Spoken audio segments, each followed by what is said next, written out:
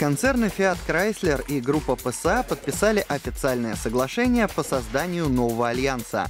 В этом объединении стороны будут участвовать на равных правах. Штаб-квартира автогиганта будет располагаться в Нидерландах, а его главой выступит нынешний президент группы PSA Карлос Таварес. Пост председателя правления займет Джон Элкон из концерна FCA. Будущий альянс станет четвертым по величине автопроизводителем в мире.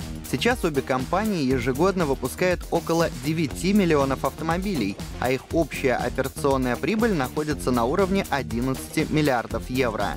Уже объявлено, что два концерна будут дополнять друг друга, так как они являются прибыльными на разных рынках.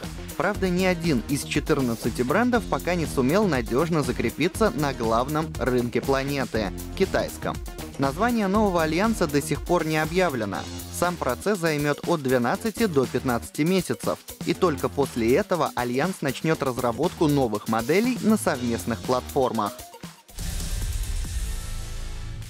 Peugeot 2008 второго поколения появится в России весной 2020 года. Напомним, что премьера новинки состоялась этим летом, так что пауза между дебютом и стартом российских продаж будет относительно небольшой. 2008 — это более крупная разновидность модели 208. В евро-версии маленький паркетник имеет трехцилиндровые бензиновые турбомоторы 1.2, а также полуторалитровый турбодизель. Впрочем, гамма моторов для нас может быть немного другой. Сейчас продажи модели малы, но смена поколений наверняка сделает Peugeot 2008 пусть немного, но популярнее.